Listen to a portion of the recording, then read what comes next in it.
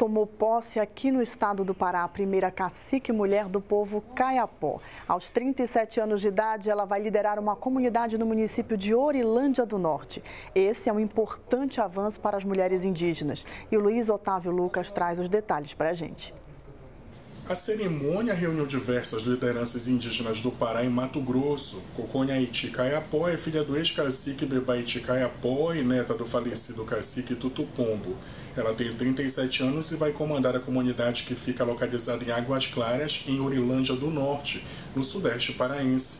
A representante já atua há anos na região e vem de uma longa linhagem de caciques. O evento contou com a participação de várias mulheres da comunidade que acompanharam a nova cacique durante o ritual de entrega de faixa e danças tradicionais caiapó.